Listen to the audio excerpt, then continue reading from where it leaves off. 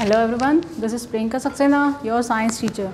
Today we are going to start a new chapter that is time and motion. ठीक है? Thirteen chapter start कर रहे हैं हम. This is time and motion तो इसमें हम पढ़ेंगे किसके बारे में? टाइम के बारे में कि आ, कैसे हम टाइम के बारे में जानते हैं और मोशंस कौन कौन से होते हैं। ठीक है? किस तरह के मोशंस हम हमारी डेली लाइफ में देखते हैं। ठीक है? तो फ़र्स्ट इसमें टॉपिक आता है मेजरमेंट्स मेजरमेंट्स क्या होते हैं? हम हमारी डेली लाइफ में बहुत सारे मेजरमेंट्स करते हैं, ठीक है? जैसे कुछ भी चीज़, अपना वेट नापना है, या फिर हम फ्रूट्स वेजिटेबल्स लेके आते हैं, उसका वेट नापना है, ठीक है? इस तरह से बहुत सारी चीज़ें हम यूज़ करते हैं। तो एक्चुअल में मेज़रमेंट है क्या? देखो मेज़रमेंट क्या होता है? Comparison of a known quantity with a known quantity of the same kind ठीक है? दो सेम तरह की चीज़ों, जिसमें एक नोन है और एक अननोन है, उन दोनों के बीच हम कंपेयर करते हैं, उसी को हम बोलते हैं मेज़रमेंट अब आप बोलेंगे, मैम, ये कैसे होगा? ठीक है तो आपने देखा होगा कि जो भी सब्ज़ी वाला अगर आता है, हम सब्ज़ी लेते हैं तो हम क्या करते हैं, उसमें हम बाट यूज़ करते हैं, ठीक है? आयरन का बाट यूज़ करते हैं, जिसपे मेंशन होता है one kilogram two kilogram five kilograms etcetera ये सब उस पर लिखा है। मतलब वो नोन है कि हाँ ये इतने किलोग्राम का है। उसी के अकॉर्डिंग हम उसको एक तरफ़ रखते हैं और दूसरी तरफ़ हम क्या करते हैं? वेजिटेबल्स को रखते हैं। ठीक है? जो भी हमको चाहिए, जैसे एक किलो चाहिए तो हम एक किलो का बाट यूज़ करते हैं। वो हमारे लिए नोन हो गया, लेकिन अननोन क्या है? वेजिटेबल और हम उसको वेजिटेबल से वेजिटेबल को उससे कंपेयर कराते हैं कि अब हमें एक किलो सब्ज़ी चाहिए तो हम एक किलो का बाट यूज़ करेंगे। दोनों जब इक्वल लेवल पर आ जाएँगे तो मतलब ये सब्ज़ी कितनी हो गई? एक किलो हो गई। ठीक है? तो इस तरह से हमने एक नॉन क्वांटिटी और एक अननोन क्वांटिटी का क्या किया? मेज़रमेंट किया। ठीक है? क्या किया हमने? मेज़रमेंट अब सेम काइंड सेम काइंड मतलब दोनों का हमने क्या मेज़र किया? वेट क्या मेज़र किया हमने? मास जिसको हम मास भी बोलते हैं। तो हमने दोनों का सेम काइंड मतलब सेम एक ही चीज़। ऐसा नहीं है कि उसकी हमने लेंथ नापी है सब्ज़ी की और बाट का हमने वेट नापा। ये तो नहीं किया हमने। दोनों का सेम चीज़ नापा। क्या? वेट यानी उसका वन किलोग्राम था, इसका भी वन किलोग्राम ठीक है? इसी को हम बोलते हैं मेज़रमेंट इसी तरह से हम क्या करते हैं? कपड़े की लेंथ नापते हैं। ठीक है? उसकी लंबाई नापनी, कितना लंबा है? ठीक है जैसे घर होता है है ना? कुछ भी चीज़ हमें नापनी अब कुछ छोटी डिस्टेंस होती है उसको हम मीटर में नापते हैं उससे भी छोटी है सेंटीमीटर में नापते हैं और कुछ लम, लंबी दूरियाँ होती है जैसे ना सिटी के बीच की डिस्टेंस है ना? कंट्रीज़ के बीच की डिस्टेंस इनको हम किसमें नापेंगे? किलोमीटर्स में। तो यूनिट्स जो होती हैं इसके लिए हम कुछ यूनिट्स यूज़ करते हैं मेज़रमेंट के लिए ठीक है? जैसे कि लेंथ के लिए हम यूज़ करेंगे क्या? सेंटीमीटर मीटर किलोग्राम एट्सेट्रा एक किलोमीटर है ना? इस तरह से हम यूज़ करते हैं। इसी तरह से अगर वेट की बात करें, जिसको हम बोलते हैं मास उसके लिए भी यूनिट्स होंगी अलग अलग कम वेट है ग्राम में नापेंगे। बहुत छोटा, जैसे गोल्ड अगर नापते हैं मिलीग्राम में भी होता है, ठीक है ना? इतने मिलीग्राम इतने ग्राम इतने मिलीग्राम तो ऐसे अलग अलग यूनिट्स होती हैं। छोटी चीज़ नापनी है तो छोटी यूनिट यूज़ करेंगे, बड़ी नापनी है तो बड़ी यूनिट यूज़ करेंगे, ठीक है? अगर कुछ कम चीज़ है तो ग्राम में नाप लेंगे मिलीग्राम में नापेंगे, बड़ा है किलोग्राम में नापेंगे। इस तरह से अलग अलग यूनिट्स को हम यूज़ करते हैं, ठीक है? इसी तरह से फिर हम मेज़र करते हैं टाइम अब टाइम के लिए भी कम टाइम में हम सेकंड यूज़ करेंगे, उससे ज़्यादा है मिनट यूज़ करेंगे, उससे भी ज़्यादा है घंटे यूज़ करेंगे, ठीक है? इस तरह से, उससे भी ज़्यादा है तो दिन यूज़ करेंगे। तो इस तरह से अलग अलग यूनिट में हम टाइम को भी मेज़र करते हैं। तो जो हम तीन चीज़ें नॉर्मली हम यूज़ करते हैं मेज़रमेंट के लिए, वो होता है, एक नॉर्मली हम जो यूज़ करते हैं लेंथ होता है, एक मास होता है और एक क्या होता है टाइम ठीक है? तो ये देखो लेंथ मास और टाइम जो कि फ़िज़िकल क्वांटिटीज़ हैं, इसको हम क्या बोलते हैं? फ़िज़िकल क्वांटिटी ठीक है? अब पहले के ज़माने में ये सब चीज़ें तो होती नहीं थी मेज़रमेंट के लिए कि हमारे पास कोई वो है तो पहले के ज़माने में लोग क्या यूज़ करते थे इनके लिए? फिर इनके लिए अपने हाथों का, पैरों का इस तरह से यूज़ करते थे कि हम उसे नाप लें, जैसे कि ये। अब इस तरह से अगर हम कोई चीज़ नापते हैं, जैसे कि ये नापा, ये कितना है? तो इसको हम क्या बोलेंगे? हैंड स्पान इसको हम बोलेंगे हैंड स्पान ठीक है? जैसे कि क्यूबिट क्यूबिट क्या होता है? तो यहाँ से लेके यहाँ तक की डिस्टेंस इसको हम बोलते हैं क्यूबिट वन क्यूबिट ठीक है? इसको अगर हम इस तरह से यूज़ करते हैं, यहाँ से यहाँ तक डिस्टेंस नापे इसको क्यूबिट बोलेंगे। हाथ से इस तरह से नापना है तो इसको क्या हम बोलेंगे? हैंड स्पान बोलेंगे। इसी तरह से अगर हम फुट का यूज़ करते हैं, पैरों के नीचे जो तलबे होते हैं, उसको अगर हम उससे नापते हैं डिस्टेंस तो उसको हम बोलते हैं फुट स्पान ठीक है? हाथ से नापेंगे तो हैंड स्पान और पैर से नापेंगे तो फुट स्पान ठीक है? अब इनके लिए हमने क्या करा? कुछ इंटरनेशनल यूनिट्स को यूज़ किया। इंटरनेशनल सिस्टम में अगर हम जाएँ, जैसे कि नॉर्मली तो हम यूज़ करते हैं, लेकिन कुछ अलग अलग सिस्टम्स हैं इनके। ठीक है, जो हम यूज़ करते हैं। एक होता है S I unit S I unit क्या? सिस्टम इंटरनेशनल ठीक है इंटरनेशनल उसमें अगर हम देखें इंटरनेशनल जो सभी सभी कंट्रीज़ जिसको यूज़ करती हैं, जो सभी में अब लागू होता है, वो क्या होता है? एस आई यूनिट्स ठीक है, वो सभी की स्टैंडर्ड होती है, जैसे लेंथ है। लेंथ के लिए हम यूज़ करेंगे क्या? मीटर का। ठीक है स्टैंडर्ड यूनिट है ये। इसकी ऐसा यूनिट क्या होगी? लेंथ की? मीटर ठीक है, वैसे तो किलोमीटर भी होती है है ना? सेंटीमीटर भी होती है, मिलीमीटर भी होती है, लेकिन हमने जो स्टैंडर्ड यूनिट लिया उसका, वो हमने मीटर को लिया। इसी तरह से मास मास नापने के लिए वेट नापने के लिए हमने स्टैंडर्ड यूनिट किसको लिया? किलोग्राम को लिया। ठीक है? नॉर्मली हम ज़्यादातर किलोग्राम का यूज़ करते हैं, इसलिए हमने स्टैंडर्ड यूनिट में किलोग्राम को लिया। ठीक है?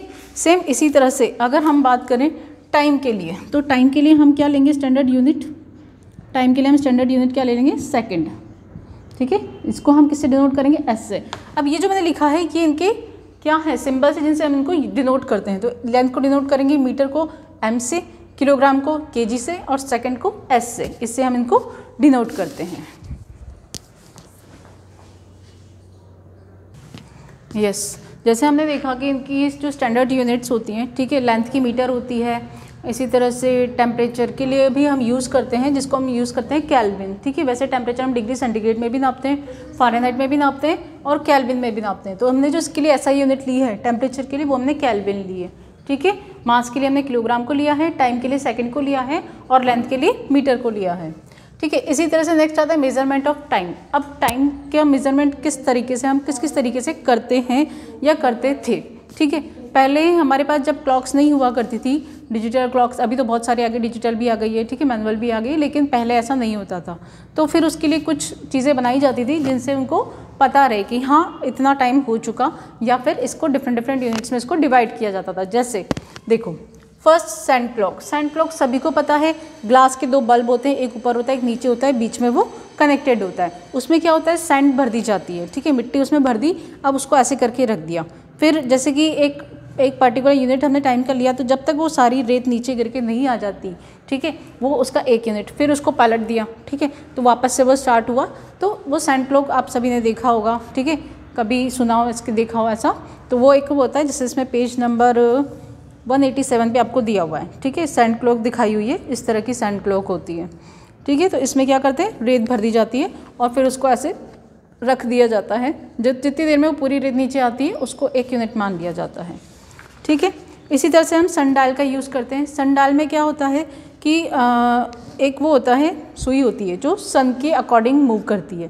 ठीक है? जैसे जैसे सन मूव करता है, उस तरह से उसकी परछाई से टाइम को नापा जाता है। इसका एक एग्ज़ाम्पल मैं आपको बताती हूँ। आपने देखा होगा कि जयपुर में जंतर मंतर, नाम सुना है आपने? वो एक सन डायल है। ठीक है? वो क्या करती है? वो टाइम के बारे में बताती है कि कितना टाइम हुआ है। लेकिन अब इसको बनवाया किसने था? महाराजा जय सिंह सेकेंड ने बनवाया था जयपुर में। ठीक है? ये भी आपको ध्यान में रखना है। लेकिन इसका ड्रॉबैक क्या है? वैसे तो ये एक्यूरेट है, सन के अकॉर्डिंग मूव करती है, लेकिन सन कब होता है? सिर्फ़ डे टाइम में होता है। इसका मतलब रात में क्या? अगर हमको रात में टाइम का मेज़र करना है तो फिर हम क्या करेंगे? तब तो हम सन डाल का यूज़ नहीं कर सकते, क्योंकि रात में तो अंधेरा होता है। तो उसका ड्रॉबैक ये है कि वो सिर्फ़ दिन का टाइम बताते हैं, बताती है, उसकी जो निडल होती है, रात का टाइम नहीं बताती। ठीक है? सेम इसी तरह से एक वाटर क्लॉक होती है। वाटर क्लॉक का आपको इसमें page number one eighty eight पर दिखाया हुआ है। जो ये वाटर क्लॉक होती है, इसमें ये भी टाइम कीपिंग डिवाइस है, ठीक है? ये इनवर्ड और outward regulated flow of water इसमें क्या होता है? जो वाटर का फ्लो होता है इनवर्ड अंदर की तरफ़ आउटवर्ड बाहर की तरफ़, ठीक है? इनवर्ड आउटवर्ड दोनों तरफ़ इसमें वाटर का फ्लो होता है, जिससे हम टाइम का पता लगा सकते हैं, ठीक है? इसी तरह से इसको हम यूज़ करते हैं टाइम मेज़र करने के लिए। फिर आते हैं modern time keepers modern time keepers में क्या आते हैं? ऑब्वियसली क्लॉक्स अभी हम जो यूज़ करते हैं रिस्ट वॉच यूज़ करते हैं, ठीक है? वॉल क्लॉक यूज़ करते हैं डिजिटल क्लॉक्स यूज़ करते हैं तो बहुत सारी तरह की जो भी क्लॉक्स होती हैं वो सब हम यूज़ करते हैं मॉडर्न टाइम में। अब इसमें क्या होता है कि जो क्वार्ट्स क्रिस्टल है उसका यूज़ किया जाता है ठीक है पीरियडिक मोशन के लिए। इसका एक पीरियडिक मोशन होता है एक पर्टिकुलर पीरियड के लिए होता है मूव करती रहती है ठीक है तो इसमें हम क्वार्ट्स क्रिस्टल का यूज़ करते हैं ठीक है। अब देखो इसके अंदर क्या होता है कि जो डिजिटल क्लॉक्स होती हैं जैसे कि आ, हमारी जो नॉर्मल क्लॉक्स होती है रेस्ट वॉच होती है इसमें ठीक है तो इसमें क्या होती है जो वो होते हैं। क्या होते हैं? मिनट हैंड होते हैं, आर हैंड होते हैं, सेकेंड हैंड होते हैं, तीन इसके अंदर निडल्स होती हैं, जो मूव करती रहती है। ये तो हो गया हमारा नॉर्मल रिस्ट वॉच लेकिन एक होती है डिजिटल। अब उसमें कोई हैंडमेड नहीं होता। उसमें क्या होता है? डायरेक्ट नंबर शो होता है कि हाँ इतना टाइम हो गया। डायरेक्टली क्या शो होता है? डिजिटल क्लॉक में नंबर्स यूज़ किए जाते हैं कि इसमें ये टाइम अभी आपको शो हो रहा है, ठीक है? डायरेक्ट नंबर से वो बताया जाता है। इसमें आपको ये देखने की ज़रूरत नहीं है कि अभी किस पर मिनट हैंड है, किस पर आर हैंड है, ठीक है? उससे मेज़र करने की ज़रूरत नहीं होती है। ठीक है, अब कुछ स्पोर्टिंग इवेंट्स होते हैं, जैसे कि गेम्स वगैरह होते हैं, अब उसमें क्या है कि टाइम फिक्स होता है कि इतनी देर में आपको ये कंप्लीट करना है। जिसने कर लिया, वो जीत गया, जिसने नहीं किया, वो हार गया, उसके लिए क्या यूज़ करेंगे? तो आपको ये, अब आप इसमें, जैसे कि आप अलार्म लगाते हो, ठीक है, आपको सुबह आपने लगा दिया चार बजे उठना है, आपने अलार्म लगाया, ठीक है, वो भी क्या है स्टॉप वॉच की तरह काम करता है। तो इसी तरह से स्पोर्टिंग इवेंट्स जो होते हैं, उनमें हम किसका यूज़ करते हैं? स्टॉप वॉचेस का, ठीक है? स्टॉप वॉच यूज़ करते हैं कि हमने फिक्स कर दिया, इतनी देर में ये अपने आप बंद हो जाना चाहिए। तो वो एक सिग्नल देगा कि ये बंद हो गया, अब बस आपका ये टाइम इसमें अब जो जीत गया, वो जीत गया, और जो हार गया, वो हार गया, ठीक है? तो इसमें भी पर्टिकुलर इंटरवल फिक्स कर दिए जाते हैं। इसी तरह से क्या होता है कि जो एक्यूरेट मेज़रमेंट होता है टाइम का, उसके लिए साइंटिस्ट यूज़ कर, जो साइंटिस्ट होते हैं, वो एटॉमिक क्लॉक का यूज़ करते हैं, ठीक है? एटॉमिक क्लॉक्स क्या होती हैं? कि इसमें वाइब्रेशन जो होते हैं ना एटम्स की, उन पर बेस्ड होती है। एटम्स के वाइब्रेशंस पे बेस्ड होती है एटॉमिक क्लॉक्स बहुत ही एक्यूरेट होती है, ठीक है? एकदम एग्जैक्ट टाइम बताती हैं ये। Atom atoms vibrate very continuously and such clocks have an accuracy level of losing or gaining one second in more than 3000 years ठीक है? इसका जो एक्यूरेसी लेवल होता है, वो बहुत हाई होता है। अब एक और चीज़ सिंपल पेंडुलम आपने देखा होगा कुछ जो हम दीवार खड़ी यूज़ करते हैं, उसमें पेंडुलम भी लगा होता है। ठीक है? उसके अकॉर्डिंग भी वो चलती है। तो इसमें पेंडुलम क्या होता है? आपने देखा होगा, इस तरह से एक रस्सी होती है, रस्सी पर एक नीचे बॉल लगी होती है, या कुछ भी जो आप यूज़ करते हैं, वो लगी होती है। अब ये पेंडुलम क्या है? ये इस तरह से मूव करता है। टू एंड फ्रो ये होगी इसकी टू डायरेक्शन ठीक है? टू एंड फ्रो यानी इधर गया, फिर इधर गया इधर गया इधर गया। तो ये क्या हो गया? इसका एक पीरियड हो गया। जितनी देर में यहाँ से जाके यहाँ आया, वापस यहाँ गया, यहाँ आया, इसको हम क्या बोलेंगे? एक टाइम पीरियड बोलेंगे, ठीक है? तो ये इसका क्या हो गया? एक यूनिट हो गया। ठीक है? तो सिंपल पेंडुलम क्लॉक में हम इस तरह की यूज़ करते हैं swings the bob is made to swing in the to and fro direction, it is observed that the bob completes one to and fro motion in exactly the same time. ठीक है? मतलब इसका ये इधर से जाने के आने का और इधर जाके आने का जो टाइम होगा वो क्या होगा? बिल्कुल सेम होगा। उसमें कोई चेंज नहीं होता है। तो इस तरह से हम पेंडुलम का भी यूज़ करते हैं। अब इसमें क्या होता है? Amplitude amplitude of a simple pendulum कोई भी सिंपल पेंडुलम है तो उसका एम्पलीट्यूड क्या होगा? ठीक है? तो उसके बारे में हम अभी देखते हैं।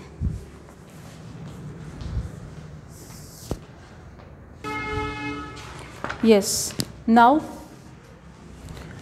सिंपल पेंडुलम ठीक है? सिंपल पेंडुलम के बारे में अभी बताया मैंने आपको पेंडुलम क्या होता है?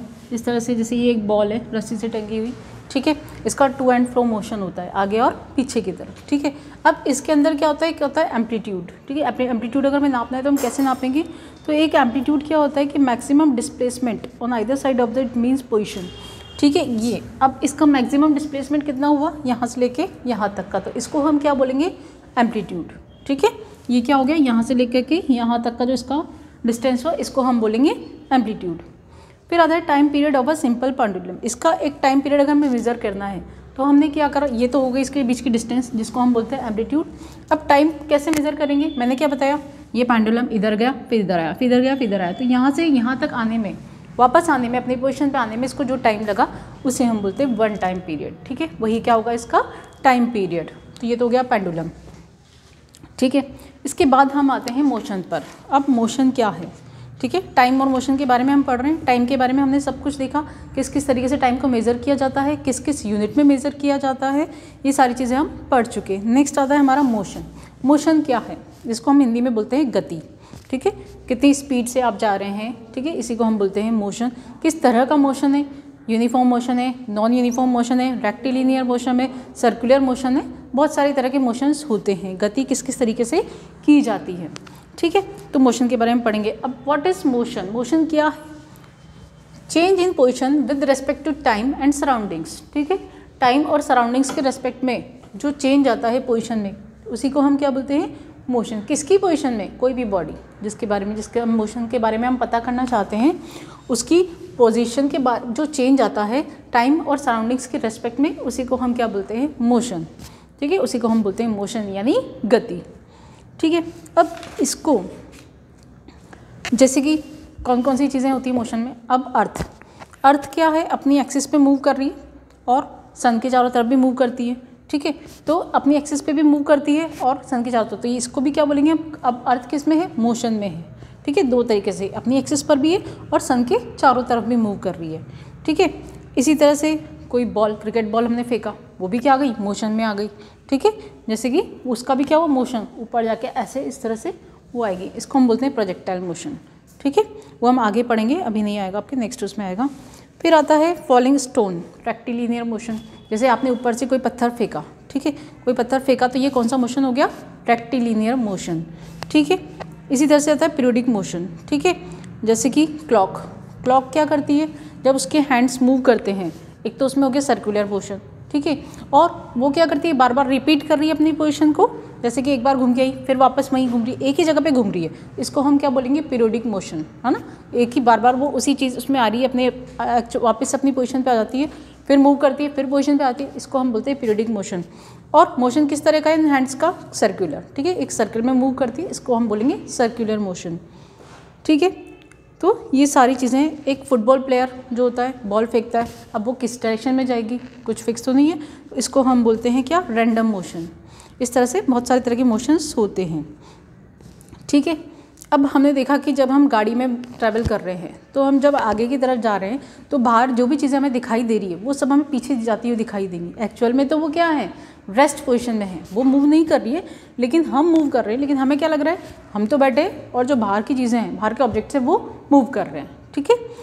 और अगर किसी भी बॉडी की पोजीशन में कोई चेंज नहीं आता टाइम के साथ, यानी वो अपनी जगह पे फिक्स है, उसकी अपनी पोजीशन चेंज नहीं हुई तो इसे हम क्या बोलते हैं? पोजीशन इन रेस्ट ठीक है? वो किस पोजीशन में? रेस्ट की पोजीशन में है, ठीक है? यानी कि वो मूव नहीं कर रहा, वो मोशन में नहीं है। फिर नेक्स्ट आता है आपका स्पीड अब स्पीड कैसे मेज़र करें? किसी भी चीज़ की स्पीड नापनी है हमें, ठीक है? हम जैसे कहीं जा रहे हैं, अपनी बाइक से जा रहे हैं, अपनी कार से जा रहे हैं तो कितनी स्पीड से जा रहे हैं? ठीक है? स्पीड क्या बताती है? डिस्टेंस और टाइम एक यूनिट टाइम में मेज़र की गई डिस्टेंस ठीक है? कैसे हम इसको लिखेंगे? Speed is the distance travelled in a particular time या in a unit of time ठीक है? एक यूनिट टाइम में आपने कितनी डिस्टेंस मेज़र करी? इसी को हम बोलते हैं क्या? स्पीड तो स्पीड को हम एस से डिनोट करते हैं डिस्टेंस को डी से और टाइम को टी से. ठीक है? इन, इनको हम यूज़ करके क्या निकालते हैं? स्पीड जैसे कि जितनी डिस्टेंस हमने ट्रैवल करी और जितने टाइम में ट्रैवल करी, उनको अगर हम आपस में डिवाइड कर दें तो वो क्या आ जाएगी? स्पीड आ जाएगी, ठीक है? ट्रेन की स्पीड ले लो बाइक की स्पीड ले लो, किसी भी चीज़ की स्पीड अगर जो भी हमें नापना है, ठीक है? उसकी हम डिस्टेंस लिखेंगे, उसको टाइम से डिवाइड कर देंगे। जितने टाइम में उसने डिस्टेंस ट्रैवल करी, उससे डिवाइड कर देंगे तो वो क्या आ जाएगी? उसकी स्पीड आ जाएगी। अब यूनिट क्या होती है स्पीड की? तो किसी भी चीज़ की यूनिट हम क्या लेंगे? स्टैंडर्ड में लेते हैं ज़्यादातर। तो हमने इसका मीटर ले लिया और इसका डिस्टेंस का हम क्या है? क्या लेते हैं? स्टैंडर्ड यूनिट मीटर लेते हैं। टाइम का क्या लेते हैं? सेकंड लेते हैं, जो ऐसा यूनिट है। तो हम इसको किसमें लिखेंगे? मीटर पर सेकंड में। किसमें लिखेंगे हम? मीटर पर सेकंड में। लेकिन अगर हमको इसको चेंज करना है तो हम इसको किलोग्राम किलोमीटर पर आर भी कर सकते हैं। ठीक है? जैसे ट्रेन की स्पीड नापनी है, कितने किलोमीटर पर आर उसकी स्पीड उसी में तो नापेंगे? मीटर पर सेकंड में नहीं नापेंगे। ज़्यादा डिस्टेंस है तो हम बड़ी यूनिट लेंगे। छोटी है तो हम कम यूनिट लेंगे। अब इसको हम चेंज भी कर सकते हैं। जैसे मीटर पर सेकंड से चेंज करना है किलोमीटर किलोमीटर पर आर में। तो हम क्या करें? अब देखो वन मीटर पर सेकंड इसको अगर हमें किलोग्राम पर आर में चेंज करना है तो हम इसको किससे मल्टीप्लाई कर देंगे? एटीन अपॉन फाइव से. ठीक है? जैसे कि सपोज़ करो कि फाइव मीटर पर सेकेंड है. इसको किलोमीटर पर आर में चेंज करना है तो five into eighteen upon five ठीक है? तो ये कितना किलोमीटर पर आर हो जाएगा? फाइव से फाइव कैंसिल यानी एटीन किलोमीटर पर आर ठीक है? अगर आपको मीटर पर सेकंड को किलोग्राम पर आर में चेंज करना है एटीन अपॉन फाइव से मल्टीप्लाई कर दो। सेम इसी तरह अगर वन किलोग्राम पर आर को मीटर पर सेकंड में चेंज करना है तो आप फाइव अपॉन एटीन से क्या कर दो इसको? मल्टीप्लाई कर दो, ठीक है? तो इसको हम ऐसे चेंज करके यूज़ कर सकते हैं। यस ठीक है? तो ये चीज़ समझ में आ गई। आपको स्पीड क्या होती है, कैसे निकालते हैं? इसी के कुछ एग्जाम्पल्स भी हैं। जो आपको में देखने हैं सेम फॉर्मूला यूज़ होगा speed equal to distance upon time now uniform motion ठीक है मोशन भी दो तरह के होते हैं, एक नॉन यूनिफॉर्म और एक यूनिफॉर्म ठीक है, अब यूनिफॉर्म मोशन क्या होता है? When body moving in a straight line path and covers equal distance in equal intervals of time ठीक है, जब एक स्ट्रेट लाइन में कोई चीज़ मूव कर रही है, कोई बॉडी मूव कर रही है तो वो इक्वल डिस्टेंस कवर कर रही है इक्वल टाइम इंटरवल में. ठीक है, यानी पाँच मिनट में, ठीक है जैसे एक किलोमीटर. ठीक है फिक्स है तो अगले पाँच मिनट में भी वो एक किलोमीटर, उसके नेक्स्ट में भी एक किलोमीटर ऐसे ही कवर करती जाएगी, इसे हम बोलते हैं यूनिफॉर्म मोशन ठीक है? यानी एक कंटिन्यू एक ही स्पीड से मूव करना। ठीक है? इसके लिए जैसे कि इसका एग्ज़ाम्पल हम लें तो हैंड्स ऑफ़ क्लॉक पेंडुलम ये क्या करते हैं? सेम पोजिशन में मूव करते रहते हैं। ठीक है? कोई चेंज नहीं आता इनकी स्पीड में। इनकी स्पीड सेम रहती है ऑल टाइम तभी हमें वो एग्जैक्ट टाइम बताती है। ठीक है? नेक्स्ट आता है नॉन यूनिफॉर्म मोशन एक नॉन यूनिफॉर्म मोशन होता है, जैसे कि बस की चाल। ठीक है? बस की स्पीड आप देख लो। बार बार चेंज होगी स्टॉपेज आएगा रुक जाएगी, फिर चलना स्टार्ट होगी स्टार्टिंग में धीरे होगी, फिर जैसे कि प्लेन रोड आया, ठीक है? तो उसकी स्पीड बढ़ जाएगी। इस तरह से क्या होता है, उसका जो मोशन होता है, वो नॉन यूनिफॉर्म होता है। यानी उनका जो टाइम इंटरवल होता है, उसमें उनकी स्पीड हर बार क्या होती है अलग अलग होती है। ठीक है? सेम नहीं रहती है, जैसे कि bus car train aeroplane etcetera ठीक है एवरेज स्पीड अगर हमें निकालनी है तो हम क्या करते हैं? अब नॉन यूनिफॉर्म मोशन है तो हम स्पीड का पता नहीं लगा सकते। इसके लिए हम फिर यूज़ करते हैं एक फॉर्मूला जिसमें हम एवरेज स्पीड निकाल लेते हैं उस व्हीकल की। जैसे टोटल डिस्टेंस, ठीक है? एक स्टॉप दो स्टॉपेज है एक से दूसरे पे जाने में कितना उसने डिस्टेंस कवर किया और कितना टाइम उसको लगा, उसमें उसने कितना टाइम लिया उससे अगर हम उसको डिवाइड कर दें तो उसकी एवरेज स्पीड निकल के आती है। उसी से हम पता लगा लेते हैं कि हाँ इस ट्रेन की स्पीड इतनी है, इस एरोप्लेन की इतनी स्पीड है, या इस कार की या बस की, ठीक है? एवरेज स्पीड से हम इसकी स्पीड को मेज़र कर लेते हैं। इसी तरह से इसमें जब हम ग्राफ बनाते हैं, एक यूनिफॉर्म स्पीड का और एक नॉन यूनिफॉर्म स्पीड का तो डिस्टेंस और टाइम के बीच में ग्राफ बनता है। जैसे कि किसी भी व्हीकल का अगर हम देख लें, ये डिस्टेंस है, ठीक है? जैसे 595 किलोमीटर 600 605 हमने 55 का इसमें क्या लिया? चेंज लिया, ठीक है? इंटरवल लिया है। और इधर हमने मिनट में टाइम ले लिया 10 मिनट 20 मिनट 30 40 50 60 इस तरह से। तो हम यहाँ पे देखेंगे, इस ग्राफ में हमें क्या दिखाई दे रहा है? कि 10 मिनट में ये कहाँ पे पहुँचा? 605 किलोमीटर्स पे पहुँच मतलब हम यहाँ से अगर स्टार्ट करें 595 से, अगर इसने स्टार्ट चलना स्टार्ट किया तो ये 10 मिनट में यहाँ पर पहुँचा, पाँच किलोमीटर फिर ये इधर, इस तरह से हम इसका अगर ग्राफ लेंगे यूनिफॉर्म स्पीड है तो एक स्ट्रेट लाइन आएगी, ठीक है? अगर नॉन यूनिफॉर्म स्पीड है तो फिर उसका ग्राफ इस तरह से आएगा। नॉन यूनिफॉर्म में क्या होता है? पहले स्टार्टिंग में स्पीड कम होती है धीरे धीरे स्पीड बढ़ती है और फिर पीक पर जाती है, ठीक है? हाई हो जाती है तो इस तरह से इसका ग्राफ आता है, जिसे हम बोलते हैं नॉन यूनिफॉर्म स्पीड ठीक है? ये डिस्टेंस और टाइम की ग्राफ हैं इसकी, जो आपके बुक में दिए हुए हैं, ठीक है? आपको समझ में आ जाए, इसलिए मैंने इसको बोर्ड पे बनाया है। तो ये चैप्टर यहाँ कंप्लीट होता है। इसके बाद नेक्स्ट लेक्चर में हम नेक्स्ट चैप्टर स्टार्ट करेंगे। इसकी पीडीएफ आपको सेंड होगी तो वो आपको करना है ओके थैंक यू